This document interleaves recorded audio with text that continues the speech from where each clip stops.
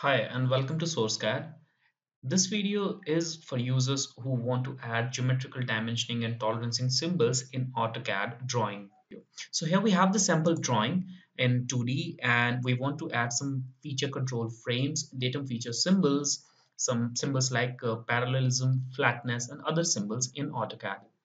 For that, we can harness the property of dimensioning and multi-leaders.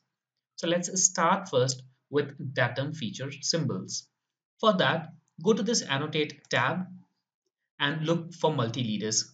So here on multi-leader, we can create a style which will represent datum feature symbol. So for that, click on this small arrow. So this will open multi-leader style manager.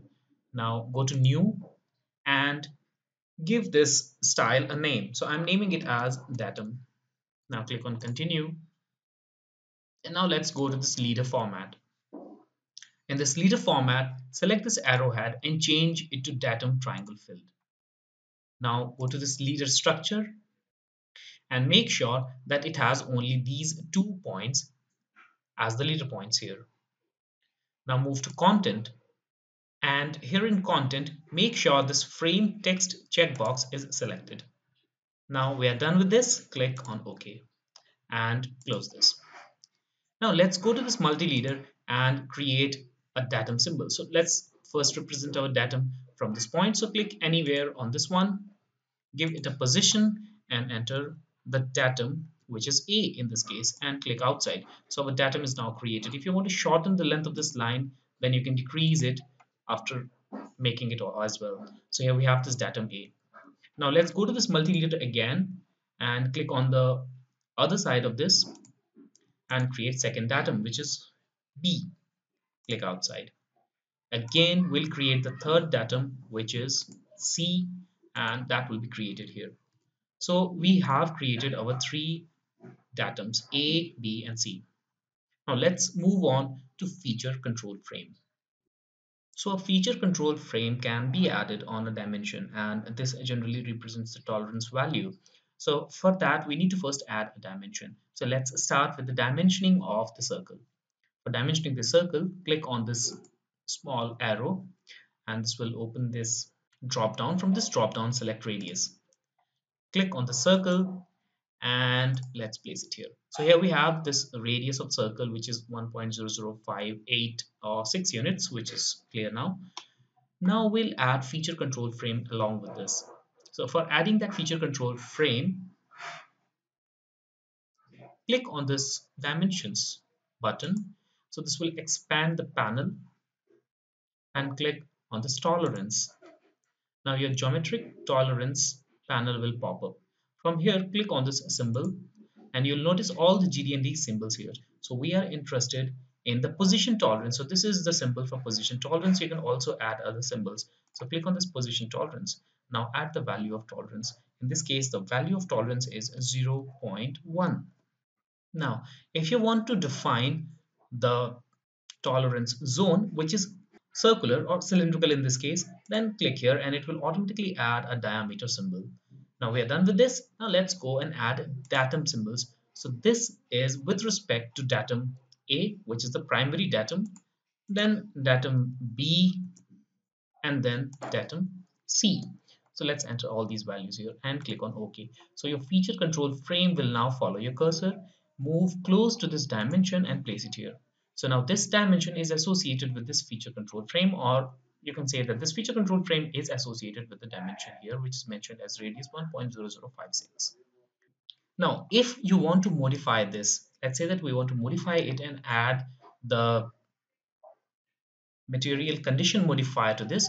For that double click and now we can add the material conditions here also. So let's say that for datum a we want to add modifier as maximum material condition which is m here and click ok. So you'll see that the modifier is also added here.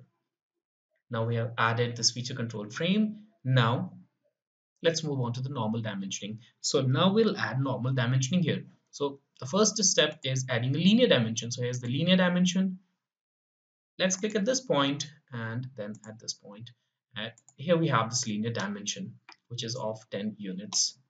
Also, we need to enter a dimension between these two circles, but obviously we cannot specify this exact distance without having a tolerance value. So we can specify a basic dimension, which is the theoretical exact dimension, which is generally enclosed in a frame. So let's go to this linear again. Click at the center of this circle. Click at the center here also.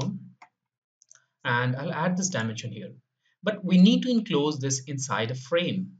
So we can create a dimension override and for creating that go to this dimension style manager and now once you are in dimension style manager you can either modify it but this will modify all the dimension that includes the second one as well but we want to create override so click on this override go to text and click on this draw frame around text don't change anything else here and click on ok so here we have a style override which is added now and click on close now we need to change this value to that override.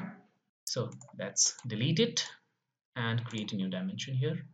It starts from this center, ends here, and here is the dimension. Now the dimension is a basic dimension which is indicated with this box here. Now let's say that we want to add flatness to this drawing.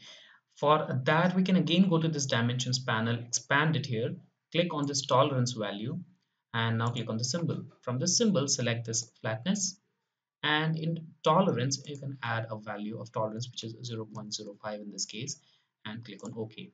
So this will here add a tolerance value and let's place it here. Now we have added it but we need to associate with it with a plane. And in this case we can associate with plane A here for that we need to add a multi-leader but we need to change the multi-leader style which was datum initially we don't want this we want the standard style. So click on this standard. And now click on multi-leader. Click at any point here and now click here and here we have it. So now this plane is associated with the flatness value of this. You can also place it here so that it completely indicates the value which is required and this is now clear now we can also add a parallelism value to this so let's say that we want to indicate that the parallelism between these two planes is 0.03 units. For that, first add this multi-leader, but make sure that this standard is selected. So standard style, click on multi-leader and click on this plane and place it here. So here we have it, don't add anything now. Now go to this dimensions panel, expand it, click on this tolerance value.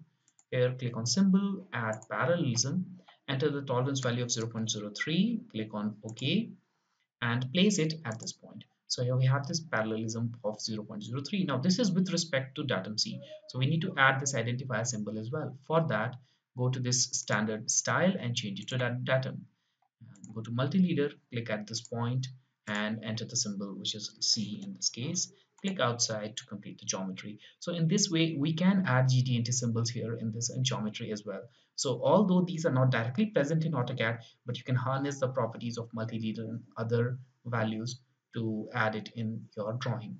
So if you have questions, do let me know in the comment box and don't forget to share and subscribe. Thanks for watching.